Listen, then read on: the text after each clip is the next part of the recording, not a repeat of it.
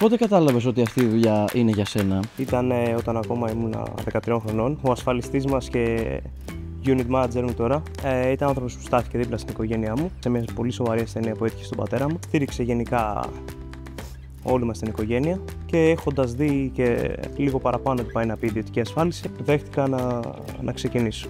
Σε ένα η δική σου αρχή πώς ήταν; Πάντοτε ήθελα να δραστηριοποιούμε επαγγελματικά σε ένα περιβάλλον το οποίο δεν θα με περιορίζει. Και αυτό εμένα μου άρεσε πολύ και γι' αυτό και λέω στους ανθρώπους που θέλουν να το τολμήσουν πες μου που θες να φτάσεις και έλα μαζί να κάνουμε το όνειρό σε αυτό πραγματικότητα.